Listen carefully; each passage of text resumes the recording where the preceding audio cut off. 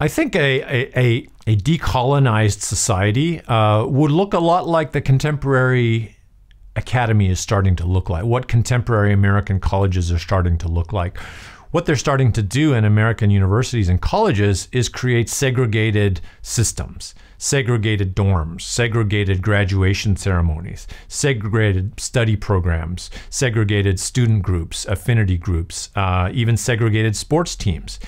And that's all being done in the name of decolonization. So let's let's get the white man out of the way of the non-white people in society and let's let them rule themselves and govern themselves according to norms that are going to be different. What what those norms are is unclear. And that then creates basically a campus of different identity groups who interact in different systems and ways. Now, the promise of that supposedly is that this makes these people in non-white societies feel more safe. It makes them more empowered. They're less likely to suffer from uh, microaggressions and whatnot.